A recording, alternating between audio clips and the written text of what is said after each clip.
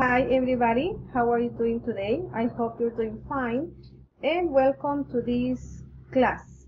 Ahora les voy a explicar cómo expresar hábitos pasados utilizando used to.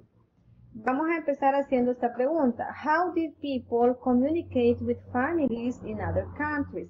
Probablemente ustedes ya no se dieron cuenta o ya no se recuerdan de que antes cuando nos queríamos comunicar con las personas que están afuera del país, nos comunicábamos por medio de cartas que llevábamos a una oficina postal y se mandaban por correo. Ese era un hábito, ese era algo que se hacía de esa manera. Entonces nosotros vamos a decir, people used to write letters and send them by post. Así se hacía antes, así se solía hacer, ¿verdad? Ahora ya no se hace eso. Entonces esto era algo que se hacía, que se solía hacer, pero que ya no. People used to write letters and send them by post.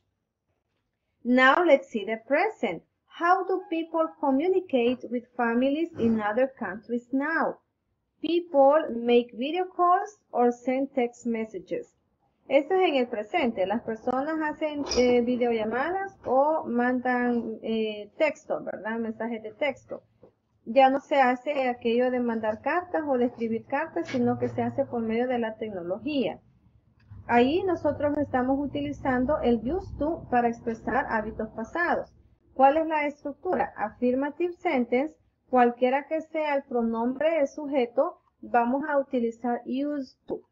Y tengan cuidado acá que estamos tenemos used terminando en D porque es pasado. Used to play the piano.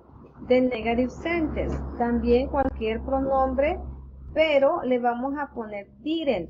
Porque es como, como se hace una estructura en el pasado. Didn't used to do any exercise.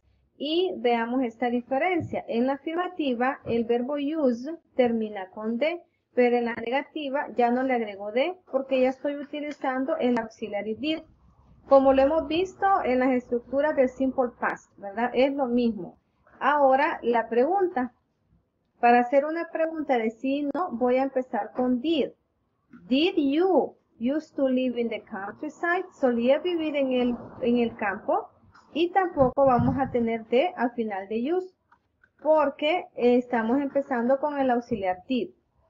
Y acá tenemos la explicación que vamos a utilizar used to, como ya les dije, más un infinitivo que sería la acción, ¿verdad? Cualquier acción que nosotros queramos expresar, ya sea jugar, caminar, watch TV, listen to music, or any other activity, para expresar hábitos o situaciones que sucedían repetidamente a través o en un periodo de tiempo en el pasado, pero que no pasan más.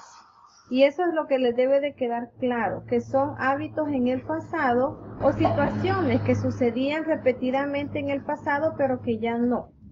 Look at this example. I used to be boring. Solía ser aburrido.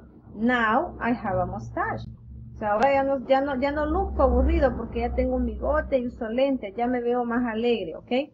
Now, what did you used to do when you were a child? ¿Qué solían hacer ustedes cuando eran niños? What did you used to do when you were a child? Veamos este niño o este joven, ¿verdad? En este caso, supongamos que son ustedes, los jovencitos, ¿ya? I used to play with marbles. I used to play with marbles. Solía jugar chibolas. Díganme si ahora juegan chibolas. Ya no, ¿verdad? Entonces ahí nos queda claro que el used to más la acción nos expresa hábitos o situaciones que sucedían antes varias veces repetidamente, pero que ya no. Así que thank you for your attention. Eh, les voy a hacer llegar más material, más explicación y espero que este video les sirva de mucho para comprender el uso del used to. Bye.